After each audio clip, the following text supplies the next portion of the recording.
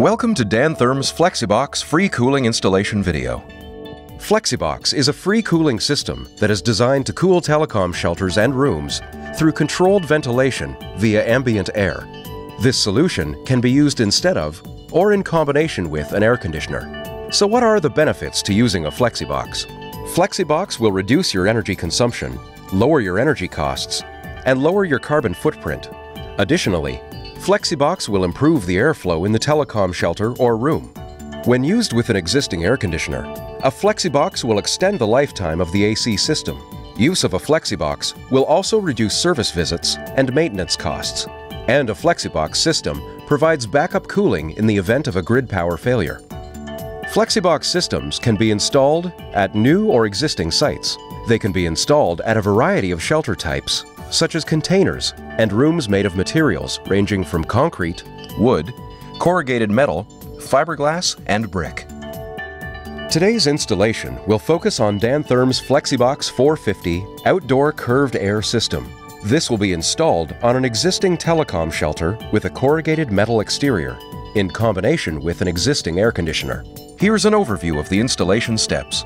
Determine item placement. Unpack the FlexiBox system. Install the fan box and rain hood. Install the damper and rain hood. Mount the controller, indoor sensor, and run wiring. Program controller and run self-test.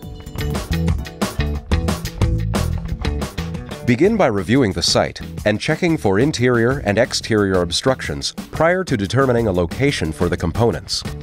Additionally, make sure you refer to the pre-installation site survey as needed. Find the unobstructed airflow path for the fan unit.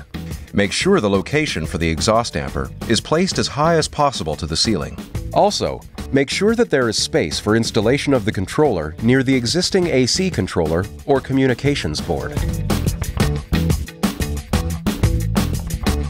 Now you are ready to unpack the components and review the materials list. Make sure you inspect the materials for any damage, then locate the installation manual and read carefully.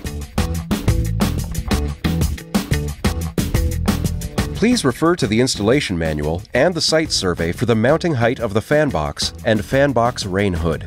Use the provided wall insert to trace the outline for the wall cutout.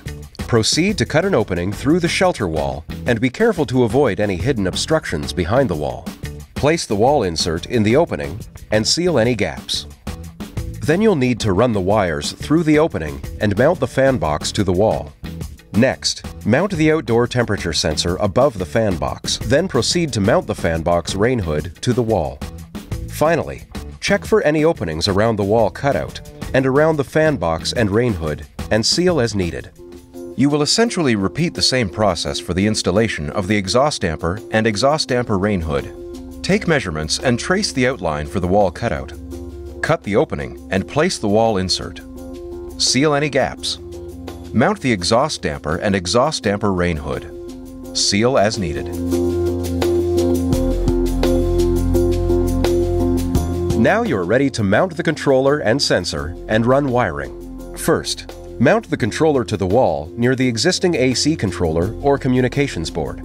Using an IR thermometer, locate the hottest and highest spot in the shelter and mount the indoor temperature sensor.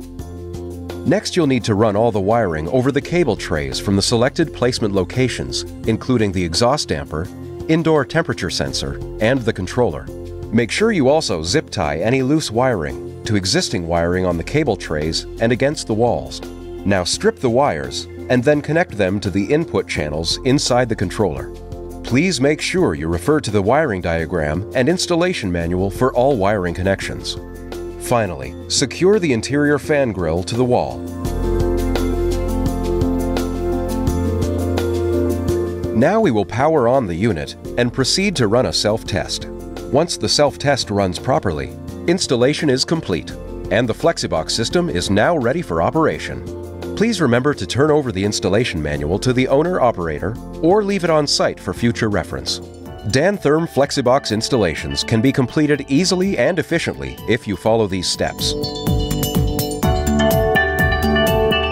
Please contact us for more information about FlexiBox and other Dantherm products and services. Thank you for watching.